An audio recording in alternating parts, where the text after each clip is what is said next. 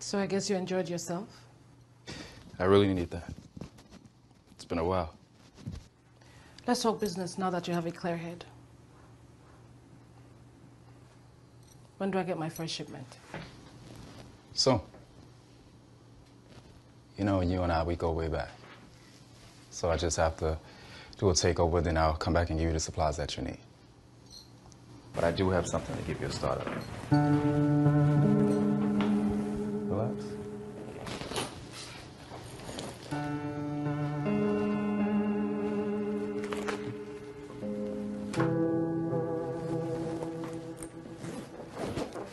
lives.